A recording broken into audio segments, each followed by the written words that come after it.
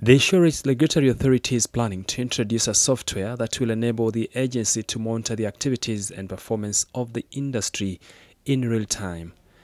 IRA Chief Executive Officer believes the software will also strengthen the watchdog's capacity to publish information like insurance companies' financial performances as fast as possible for effective planning. We need to have a regulatory software which can tell us in real time immediately something happens, it tells us that this insurance company has this problem.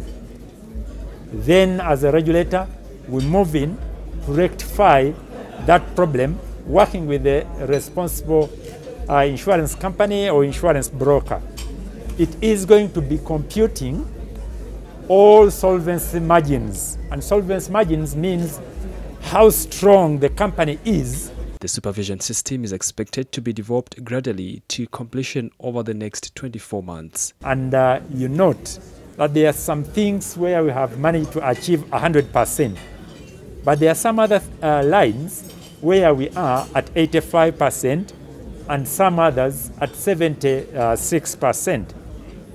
We uh, note that the deadlines for uh, complying with the various provisions on corporate governance. Some of them have already expired.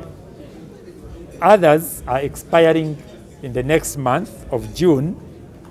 And uh, we have uh, one which is expiring in 2025, and that is on the actuarial and risk officers. This was during an interaction with sector players over complying with the guidelines issued by the finance minister introducing stringent corporate governance in the industry. Story by Benon Ojambo for the news.